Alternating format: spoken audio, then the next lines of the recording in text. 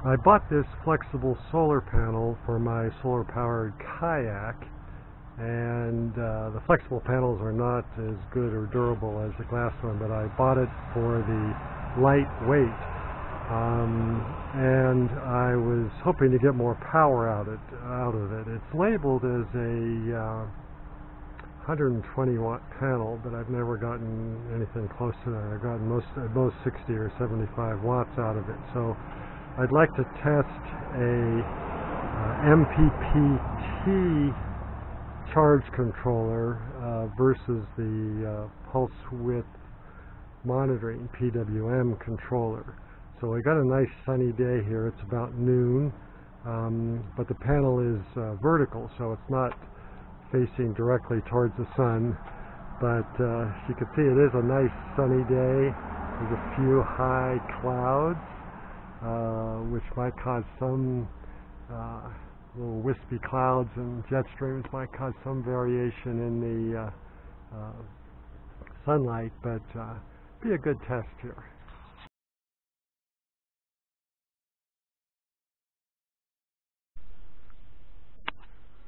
Okay, so this is just inside the garage, and you see I've got the Victron uh, Blue Solar MPPT charge controller connected, um, and I'm measuring the solar panel input here, which as you can see is um, 2 point, about 2.2 amps, 16 volts, um, and 35 watts uh, as the on the input. Um, and then the output over here, Uh, which is connected to the battery, is the battery voltage is 13.17 volts at 2.55 amps. Now, that's interesting in that we have a higher number of amps coming out of the MPPT controller, and that's because what it does is the on the input side, it runs the panels at their maximum power point, which in this case is about 16 volts, and uh, can draw 2.6 amps. And power is voltage times amps. So uh, if we go here, we write down 2.2 um, amps and 15.5 volts and 35 watts on the input we get on the output we have uh, 2.5 amps 13.16 volts and looks like 33 watts so this is the Victron um, MPPT. Now the advantage of this is that um, it runs the panels at a at the maximum power point voltage, which is higher than the battery voltage. Um, and then inside it, inside the charge controller, it, it has a DC to DC inverter which will convert that higher voltage and higher and amperage to a the battery voltage at a higher amperage so you get the maximum power out of the system.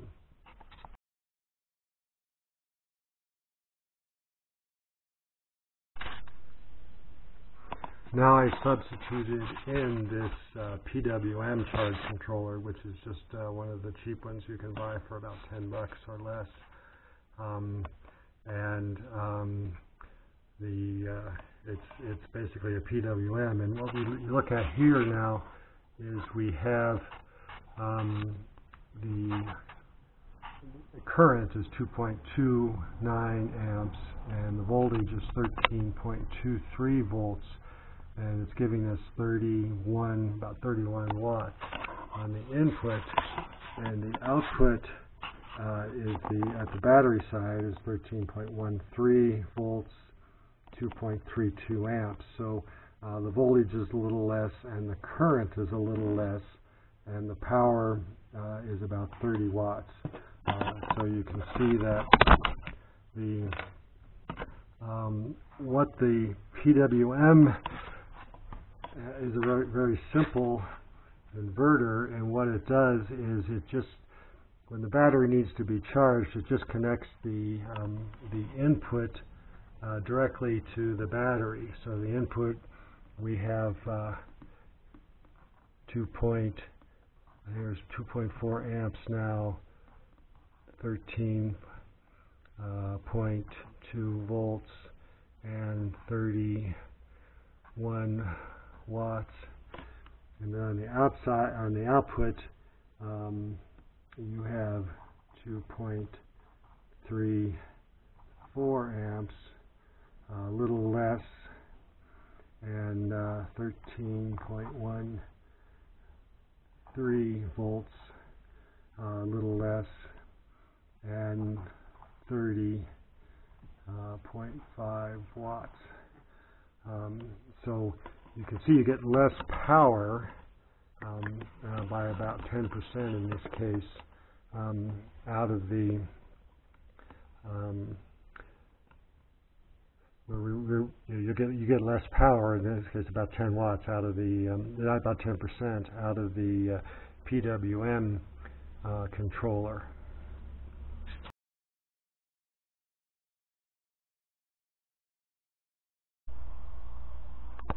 I'm also try I'm also trying out this EP Ever uh, MPPT solar charge controller. This one can handle a lot uh, higher uh, wattage uh, panels, um, so that uh, and it has a it's a much larger unit and it has a massive heat sink on the back. Um, but we can see here how it's performing. Um, if you look at the uh, input uh, we have here um, uh, at the uh, epEver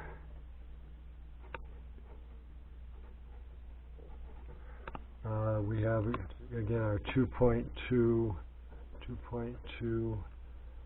uh, about 2.25 amps uh, 15.7 volts and 35 watts. And you can see that's pretty much the same as the Victron does. Um, and then on the output, um, it matches the, uh, the voltage of the battery, which uh, now is 13.15 volts um, and uh, 2. 59 amps and 33 um, uh, 34 watts. So uh, you can see that uh, the performance of this um, as a uh, MPPT charger is pretty much the same as the Victron um, possibly a little better but you know, the sun might have uh, changed a bit since then. So um, uh, you can see the, the advantages of having a uh, MPPT controller as you get more power out of the um, out of the system. So uh, we're, we're 10 to 15 percent more in in this in this case.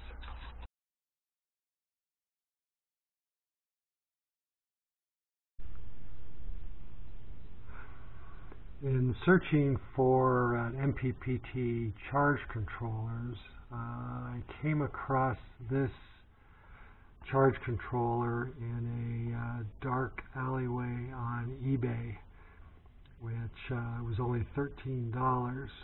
And uh, it's advertised as an MPPT solar charge controller.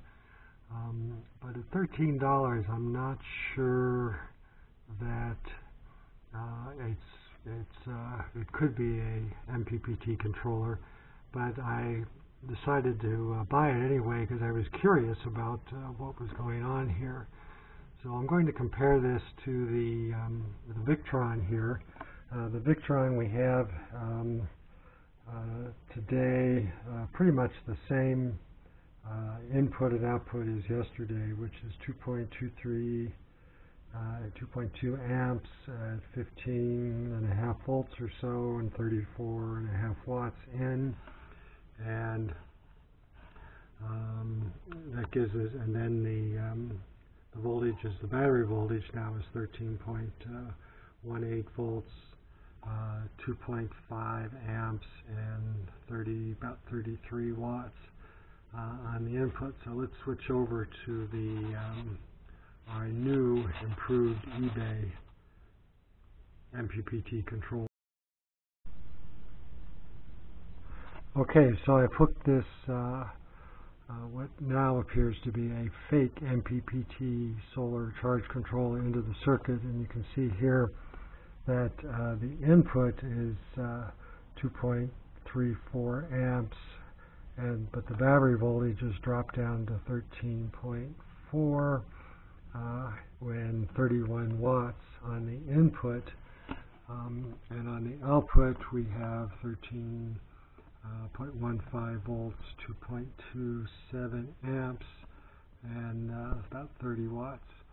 So uh, this is not an MPPT solar controller because uh, basically what it's doing is uh, acting like a PWM controller which is pulling the input voltage down to the battery voltage and just passing the uh, passing the current through. And we have essentially the same current um, coming in as going out and the same uh, wattage minus a, a, a, little bit of loss in the, in the controller. So so we'll call this a um,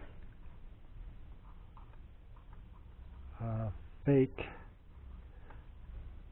MPPT and so input um, is 2.33 amps uh, 1 3.3 volts and 31 watts.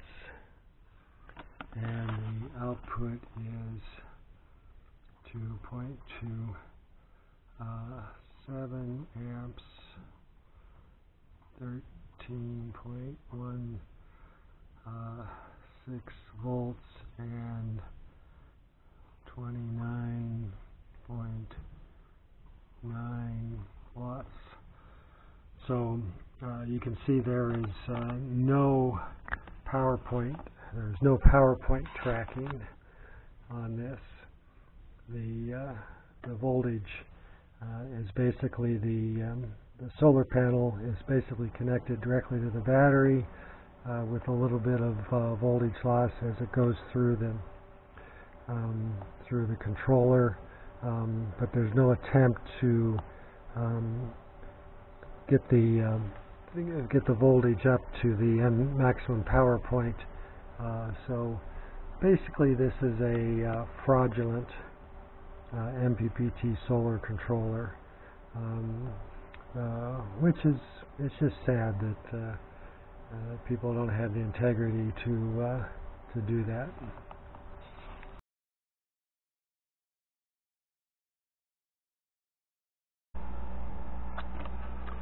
Uh, so I opened up the fake MPPT solar controller just to see what was inside to see if it had any chance of being uh, having a DC to DC inverter inside and I see that it does not. Here's the uh, display, the, uh, the two USB ports. Interestingly, they also have two uh, RCA jacks, 5 millimeter RCA jacks, uh, not RCA jacks, but uh, 5 millimeter jacks, which are probably um, 12 volt output. So that's that's kind of interesting. Um, and on the back um, we have uh, uh, some power transistors which are thermally connected to the, um, the metal backplate. Uh, but no sign of a uh, DC to DC inverter. Uh, so definitely a fraud